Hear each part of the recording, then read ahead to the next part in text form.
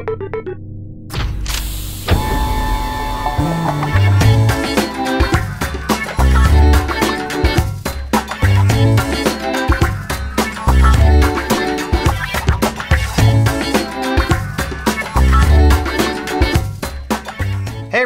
welcome to Brick Vault. I'm Charlie, and today we're going to be talking about different ways to display your LEGO minifig collection.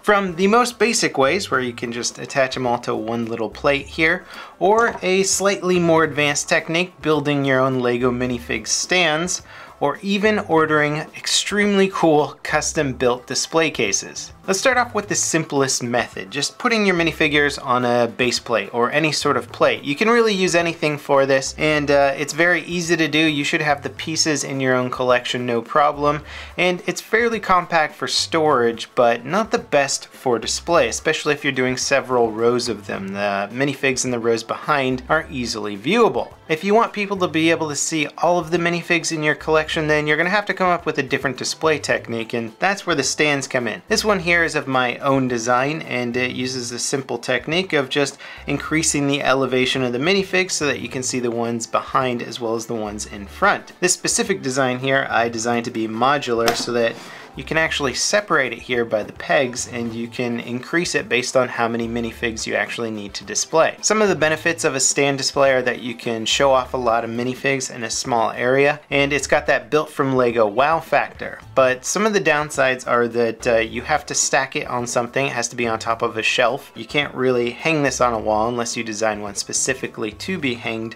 on a wall. And it can also be a little bit pricey depending on the stand that you actually design. This stand here isn't the cheapest one ever and it ends up costing about maybe 50 cents per minifig to actually build this. So once you start getting up in the hundreds of minifigs you want to display, all of a sudden you're looking at hundreds of dollars to build the actual stand. Now let's take a look at the end game, the ultimate way to display your minifigs. This is a custom built case from ayrowstudios.com. We emailed Ayrow Studio telling them that we'd like to make a video talking about different ways to display minifigs and that we'd love to feature one of their cases and they sent this over to us which was amazing and not only is it a really cool looking case but it's got some awesome features as well. First of all this case is going to allow you to carry about 200 minifigs at maximum capacity which is awesome for my original trilogy minifig collection. I've got each character displayed from episodes 4, 5, and 6 plus I have extra room to fit all of of my minifigs from Star Wars The Force Awakens, so there's plenty of space on here to show off a pretty impressive collection.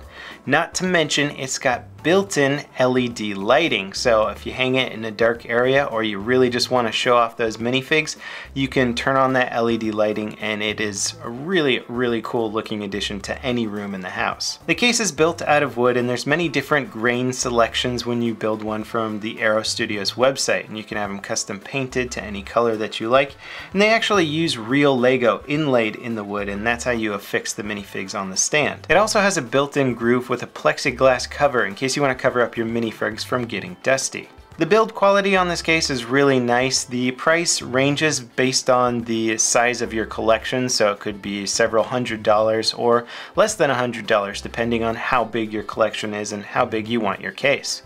It also has the benefit of being able to hang on the wall, so you don't need to stack it on top of a shelf. Although Ayrow Studios does make custom display stands that are meant to be put on tops of shelves. So you can basically get a stand that suits whatever situation you're looking for. So of these three display methods, I would say the cool factor also fluctuates with the cost factor. Obviously this is the cheapest way to go and the easiest way, but it's not that cool to look at and it's probably not going to wow that many people. The minifig uh, custom built display display stand with Legos is a fun way to go, but it doesn't have built-in lighting. I suppose you could design one with that, but then you're getting into a cost range in which you're probably going to be able to buy a custom built case that's going to look even cooler.